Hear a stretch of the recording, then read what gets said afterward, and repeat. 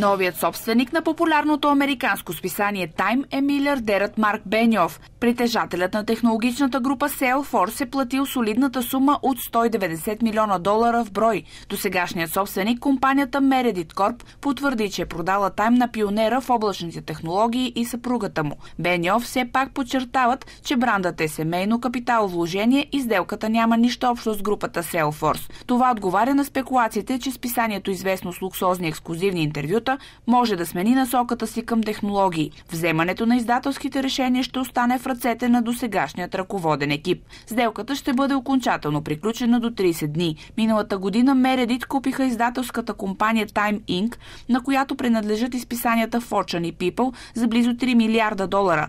Основаното през далечната 1923 година списание Time дълго време се бори с спада на реклама. То продължава да се чете от над 100 милиона души на хартия, а по постепенно и в интернет. Запазена марка на Тайм са интересните му, понякога провокативни и политически ориентирани, но винаги популярни корици.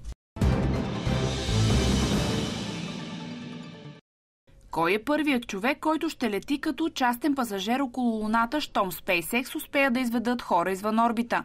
Технологичният свят спекулира с името на пасажер номер едно, след като компанията обяви, че има сключен договор с мистичен клиент. Социалните мрежи буквално превъртяха от предположения дали първият частен полет ще е за самият Илон Мъск или за богат японски магнат. За да разкрият голямата тайна, от SpaceX организират и специално събитие. Междувременно престижната междузвездна надпревара на технологичните гиганти не стихва. От нас обявиха, че вече разглеждат възможността брандове и компании да рекламират имената и продуктите си върху ракетите им. Първите лидери световната търговия, които ще работят с НАСА, най-вероятно ще са Budweiser и Coca-Cola. И докато агенцията чака да разбере ще бъде ли възможно да се комерциализира, тя пусна в орбита лазер, който да бори ефекта от глобалното затопляне. Устройството, което измерва истинската плътност и големината на топящите се ледени шапки на Земята, вече е в орбита. Авиопревозвача Боинг Ко спешно връща на работа пенсионирани служители. Ходът на компанията е опит да се справи с забавенията в производството на модела 737 в Сиатъл. Най-големият производител на самолети в света изпитва недостиг на двигатели и корпуси, след като през юни забърза производството си рекордно. Човешкият ресурс за тази продукция обаче изглежда не достига. Моделът 737 е най-добре продаваният и печеливш за компанията. Към момента в завода има над 600 наети служителя, но не е ясно колко още са необходими, за да потръгне производството. В нормалният си ритъм завода сглобява по 52 самолета месечно, а само през септември вече изостава с цели два броя.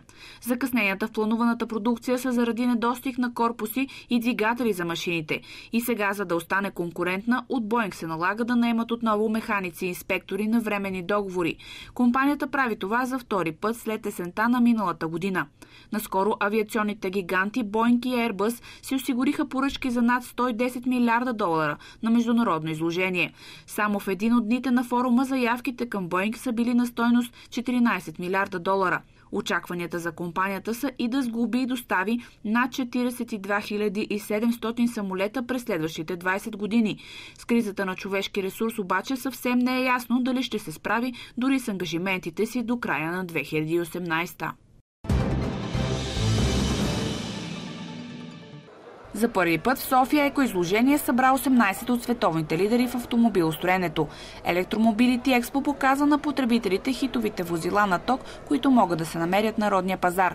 На него, освен леки или котоварни автомобили, можеха да се видят също мотопеди и велосипеди с електрическо задвижване. Своите екомодели показаха Hyundai, Nissan, Jaguar, Volkswagen, Kia и Renault. Сред най-интересните експонати беше атрактивното возило във високия клас на Тесла – S75D от 2018 година. Интерес предизвикаха още първият изцяло електрически автомобил в историята на Jaguar I-Peace и най-продаваният електромобил в Европа – Nissan Life. Градските возила на ток бяха представени от Volkswagen e-Up и двуместното Renault Twizy.